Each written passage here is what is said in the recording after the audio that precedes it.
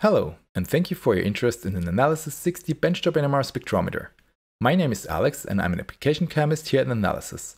In this video, I'll explain why and how to use the proton lock feature with no dissolvents on either the Nanalysis 60E or 60 Pro.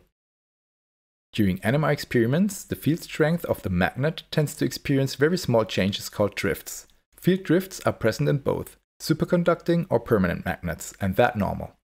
Typical drift values are 1 to 10 Hz per hour. If this tendency were not corrected, the sum of FIDs in a given experiment would result in a spectrum with broadened or multiple signal sets.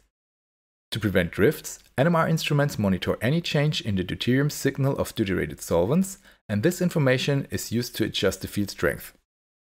Deuterium is often used to lock because it resonates at a very different frequency than proton. Thus, it is NMR silent, meaning that it doesn't show up in the spectrum.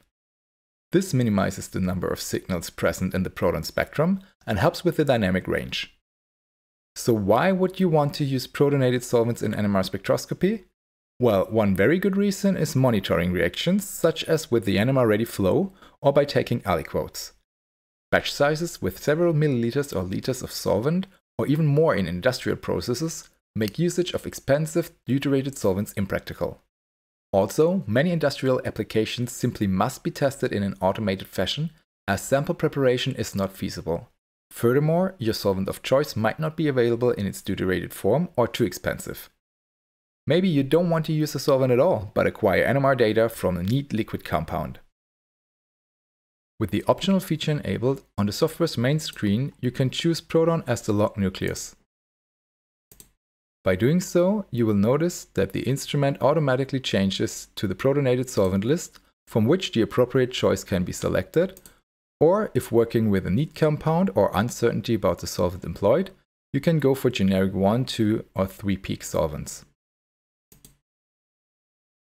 After selecting the lock nucleus, you can set your experiment parameters just like for deuterium lock. In this first example, I would like to acquire a 1D proton NMR spectrum of ibuprofen in dichloromethane. To do this, we can keep most of the default parameters, but obviously we need to select the appropriate solvent from the list.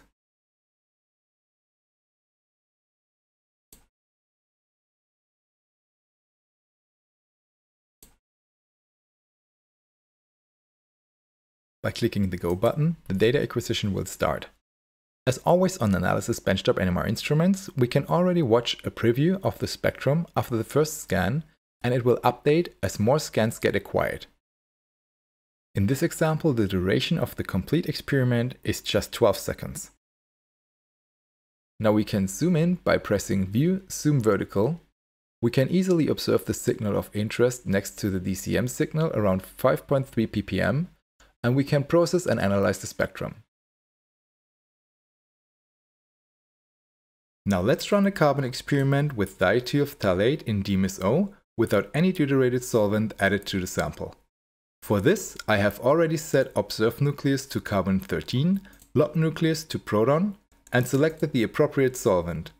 After setting the number of scans to 128, we can start the acquisition by pressing the Go button.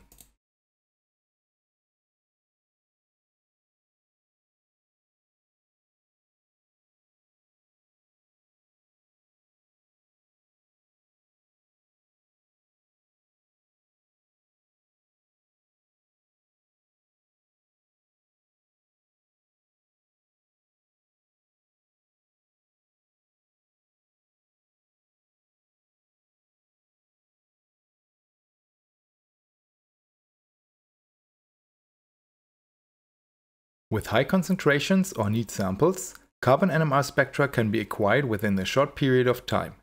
In this case, we observe a nice spectrum after 7 minutes. We can observe the DMSO signal around 40 ppm, as well as all analyte signals including the quaternary carbon peaks at around 132 and 167 ppm. In a similar manner, other X-nuclei experiments like fluorine or phosphorus could be done. Furthermore, Proton Lock can also be used for online reaction monitoring, employing the NMR Ready Flow Kit, or by taking aliquots to follow the reaction progress. If you would like to know more about reaction monitoring and automation with our so-called kinetics experiment, Or if you have any question about the features and experiments available for the Nanalysis 60 and 100, please visit our website or contact us directly via phone or email. We would be more than happy to discuss your questions. Thank you for watching and have a great day.